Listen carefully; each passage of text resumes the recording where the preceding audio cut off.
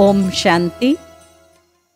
आज हम विश्व की उस विरल विभूति, जिसको सारे भारत देश में भक्त बड़ी भावना और श्रद्धा के साथ जगत अम्बा आदि देवी, आदि शक्ति के रूप में गायन, पूजन, अर्चन कर अपनी मनोकामनाओं को पूर्ण कर रहे हैं।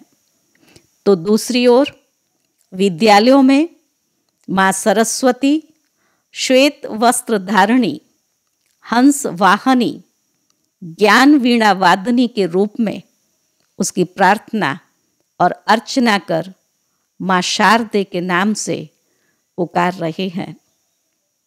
क्या आप जानते हैं वो ज्ञान वीणा वादनी कौन?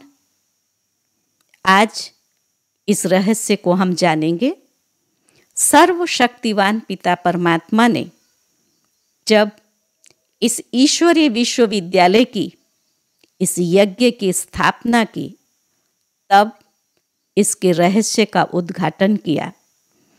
परम पिता परमात्मा ने प्रजापिता ब्रह्मा के मुख कमल से सत्य ज्ञान दिया। सृष्टि के आदि मध्य अंत का ज्ञान दिया। जिस ज्ञान को जीवन में धारण करने वाले ब्रह्मा वत्स ब्रह्मा कुमार और कुमारी कहलाए। उन ब्रह्मा वत्सों में से ये एक विशिष्ट प्रतिभा, जिसको पिता श्री ब्रह्मा बाबा ने ओम राधे का नाम दिया। बाबा ने यज्ञ की समस्त जवाबदारियों को आप पर सौंपा। ये माँ, जिसकी दिव्यता, शालीनता, सौंदर्य स्वर्गिक था। आपका विवेक अद्वितीय था। आप मानवता से ऊपर उठकर पवित्र, पुनीत, श्वेत वर्ण की थी। जो भी आपके सामने आता था, वो आपको ओ माँ, मेरी माँ कहे बिना नहीं रह सकता था। आपके बारे में तो क्या कहें? सर्व गुणों और शक्तियों की आप खान थी। किसी भी गुण में कोई परसेंटेज आपके जीवन में हमने नहीं देखा। आपके जीवन की अनेक विशेषताएँ यदि मैं उन विशेषताओं का वर्णन करूँ तो मुझे ऐसे प्रतीत होता है कि जैसे सूरज को दीपक दिखाना है। लेकिन फिर भी आपकी उन अनेक धारणाओं में से कुछ एक धारणा, जिनका प्रभाव मेरे व्यक्तित्व पर पड़ा। उनमें से कुछ एक धारणाएँ जिसका प्रभाव मेरे व्यक्तित्व पर भी पड़ा। मैंने मम्मा से सीखा। मम्मा कहती थी, हुक्म हुक्म चलाए रहा। ये मम्मा की ऐसी एक गहरी धारणा थी और इस धारणा के कारण से हर कर्म करते हुए हमने मम्मा को निश्चिंत और बहुत हल्का देखा। चाहे परिस्थितियाँ विपरीत थी, लेकिन मम्मा निश्चिंत थी। करावन हार वो है, हम तो केवल करनहार हैं। ऐसी दिव्य धारणा का प्रभाव जो हम मेरे जीवन पर पड़ा। दूसरा, मम्मा को बाबा में अटूट निश्चय और परमात्मा ज्ञान में अटूट श्रद्धा, वो हमने मम्मा के जीवन से सीखा। बाबा का कहना और मम्मा का करना। संकल्प मात्र में भी, कभी भी मम्मा ने क्वेश्चन मार्क नहीं किया। जो बाबा ने कहा है, वही अटल सत्य है, ऐसा दृढ़ विश्वास मम्मा में था। और उसी विश्वास से मम्मा, जब बाबा के महावाक्यों को सुनती थी, हम सब ब्रह्मावत्स इस बात से परिचित हैं कि बाबा मुरली चलाते थे।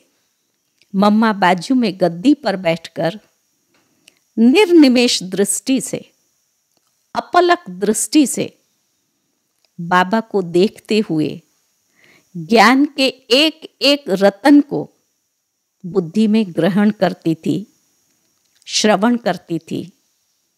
उसके पश्चात बहुत गहरा मनन और चिंतन मम्मा का उन महावाक्यों पर चलता था और ज्ञान के उन रहस्यों को मम्मा हम सब बच्चों के सामने स्पष्ट करती थी। मम्मा की बुद्धि बहुत तीक्ष्ण और कुशाग्र थी परिणाम स्वरूप एक एक ज्ञान रतन को धारण कर वो श्रृंगारी मूर्त, आकर्षण मूर्त बनी। साथ ही वो एक सच्ची तपस्वनी, योगिन थी। मैंने मम्मा से इस योग की गहन साधना के आधार पर अपने जीवन में भी उसको अपनाने का पुरुषार्थ किया।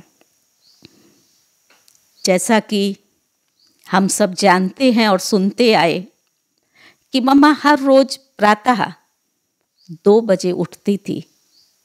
उठकर एकाग्र चित हो, एकांतमय स्थिति में ऐसे स्थिर होकर के उस परमात्मा प्रेम में प्रभु स्मृति में तल्लीन हो जाती थी।